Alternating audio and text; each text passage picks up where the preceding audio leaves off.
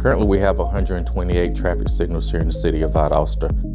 The signal cabinet is pretty much the brain of the signal.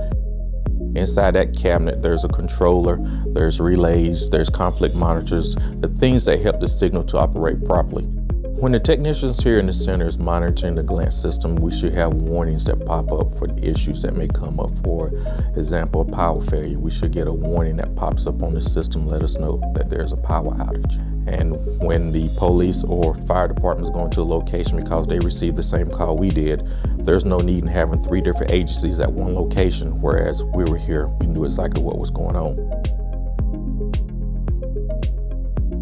If it let us know before we dispatch that technician, that technician can get the proper tools and equipment that is needed to go out there and diagnose the problem and hopefully fix the problem.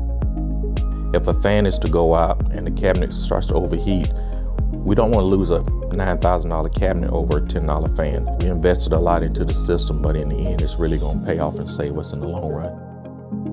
Most people are afraid of change, and a lot of people are afraid of technology because Technology scares a lot of people.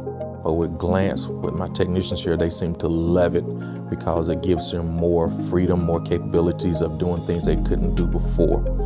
Once they adapted to it and start learning system, it's making their lives a lot easier. And it's just an overall good system that they enjoy working with. If we can be proactive instead of reactive, that's a great position to be in.